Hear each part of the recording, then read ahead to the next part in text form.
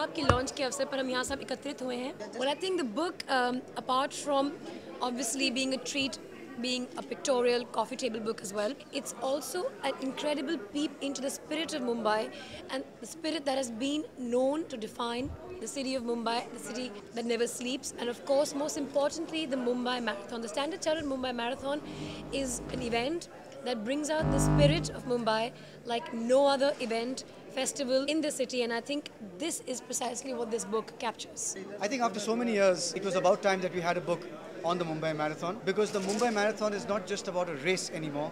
It's about the city. It's about a day when everybody in the city gets together and if only for a few hours uh, runs together, feels uh, feels equal. It doesn't matter whether you're rich or poor or Hindu or Muslim or Dalit. Everybody gets together and, and savors something that the city doesn't offer and the country doesn't offer every day, which is a feeling of equality and uh, unity. So this book, which is designed by the very talented uh, Mr. T.V. Narayan and written by Anil Dharker, actually um, enshrines that. It's not just about running, it's about um, everything that goes into to make a great city.